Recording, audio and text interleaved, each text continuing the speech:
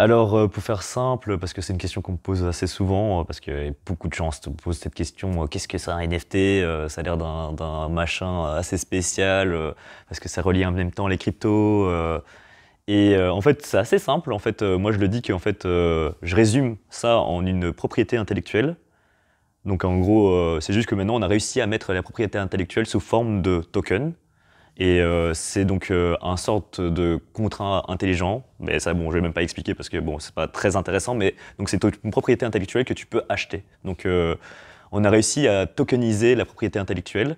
Et du coup, ce qui s'est passé, c'est que c'est devenu un objet, donc un objet, et c'est aussi un outil que les artistes utilisent pour mettre leurs images dedans.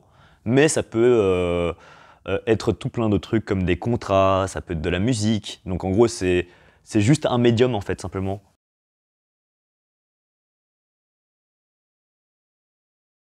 Euh, du coup, moi, j'utilise les NFT euh, pour, euh, ben, pour le marché de l'art numérique, tout simplement. En fait, j'achète, je revends, je collectionne des NFT, donc des NFT avatars, donc des petites têtes où en fait les gens achètent ça pour rentrer plus ou moins dans un club, un club soit exclusif surtout, et en gros les gens ils se battent pour rentrer dedans, etc. Ou soit c'est vraiment pour des collections. Parfois t'as des, j'achète des NFT en mode BD, donc en gros euh, t'as le tome 1, il te faut les, les 7 tomes, et en fait à chaque fois ça te donne des, des avantages, etc. Et euh, ça c'est vraiment le le truc que, j'investis le plus, euh, je crois que j'ai investi euh, des milliers d'euros dedans et, et je suis même pas sûr de les récupérer. Donc maintenant, on verra bien si j'ai fait les bons choix. Là, pour l'instant, c'est le marché baissier, donc du coup, je, je passe les notions euh, de finance euh, en crypto, etc. Mais euh, dans, mon, dans, mon activité des NFT, c'est ce que je fais. J'achète, je revends. J'espère avoir fait un bon coup en achetant. Et après ça, si ça marche pas, ben, j'ai envie de te dire Inch'Allah et, on voit si ça marche et ça marche pas. Et, sinon, après ça, je, travaille aussi dans quelques projets NFT, dont le mien, mais je peux pas en parler, donc du coup, je dis juste que j'en crée une et on verra bien comment ça se donne. Mais du coup, euh, ça, mêle beaucoup de, ça mêle beaucoup de choses en fait.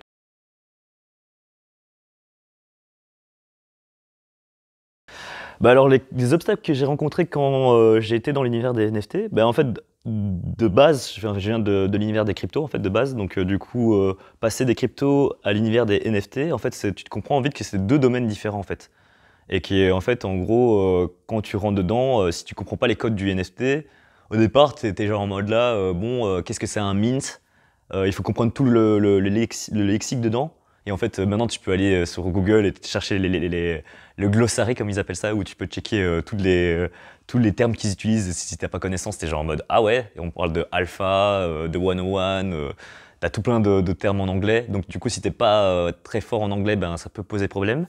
Ça peut être un obstacle pour les gens qui s'y connaissent pas trop. Il faut aussi avoir de l'argent. Ça, il n'y a, pas de- y a, pas de- y a pas de magie sans argent. En fait, je dis, euh, il faut investir. Tu peux pas investir. euh, ah, tu peux réinvestir 100 euros et te retrouver avec peut-être 10 000 euros, mais c'est des coups de chance. Donc en soi, euh, ça m'est arrivé. Bon, après ça, ça arrive pas tout le temps. Et euh, ça, arrive, ça arrive aussi dans mo- dans l'autre sens, c'est-à-dire que tu peux aussi investir 100 euros et retrouver avec 0 euros. Donc en soi, voilà.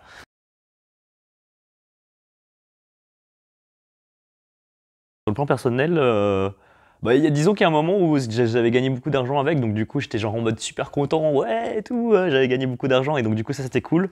Puis il ça, j'en ai perdu aussi, donc du coup ça c'était un peu moins cool. Et personnellement en fait, euh, je, comprends qu'en fait c'est un sujet qu'il n'y a pas beaucoup de gens qui maîtrisent en fait. Et, euh, et je trouve que c'est quand même un médium hyper intéressant et que je pense que si les gens s'y connaissaient mieux, je pense qu'il y aurait vraiment un truc qui est beaucoup plus intéressant. Et donc j'essaie d'être surtout inclusif.